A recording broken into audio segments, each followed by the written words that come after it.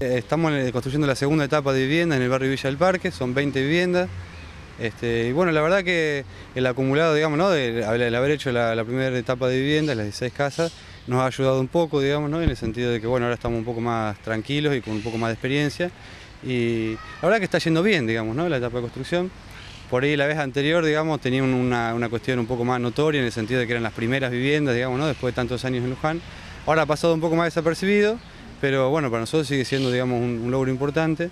Y lo que estamos reflexionando, discutiendo, es que en realidad, digamos, este esquema, ¿no? De hacer viviendas tan acotadamente, este, bueno, dista mucho de poder lograr, digamos, eh, intentar resolver por lo menos un poco de, digamos, el déficit habitacional que tiene, que tiene Luján.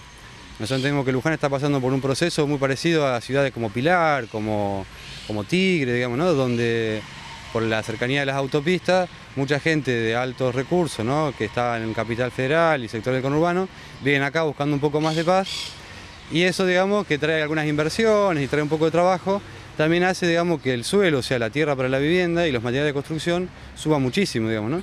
Y eso pone, digamos, una situación muy, muy complicada a la mayoría de las familias de Luján, que realmente, digamos, estamos todos, creo que es un, sentimiento general, general el tema de la preocupación por dónde van a vivir incluso las futuras generaciones de las familias de Luján, digamos, ¿no? Nosotros en el 2004 hicimos una toma de tierra donde tomamos dos manzanas eh, y después empezamos a hacer las gestiones para eh, ver si tenía dueño y después de ahí se hizo un proceso donde el municipio se apropia de la tierra, después de ese proceso adjudica a, lo- a la gente que tomó las tierras.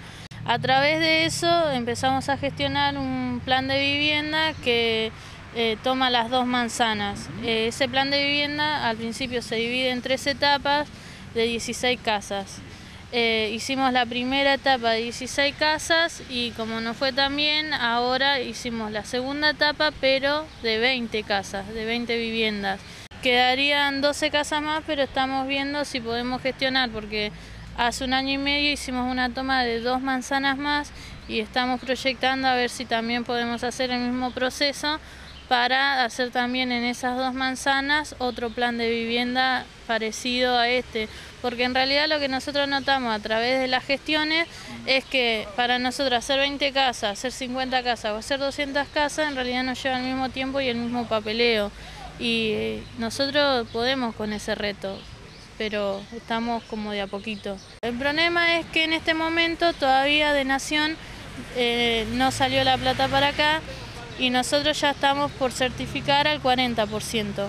Como la plata todavía no está en Luján, eh, nosotros tenemos miedo o una preocupación grande de que eh, hay recambio de, gente tanto en, en Luján como más arriba y que esa plata no esté llegando y la obra, lo que nosotros no queremos es que la obra se corte o la tengamos que parar porque en realidad son 40 familias que, que viven y trabajan de eso y de nuestra parte todo lo que teníamos que hacer lo hicimos y lo seguimos haciendo. El problema que es la verdad que ellos tienen tiempos muy lentos, muy lentos y más con este recambio es eh, un miedo existente que está. El MTC Luján armamos, armó cuatro cooperativas de vivienda eh, y entonces esas son las cooperativas que hoy en día están trabajando, digamos, ¿no?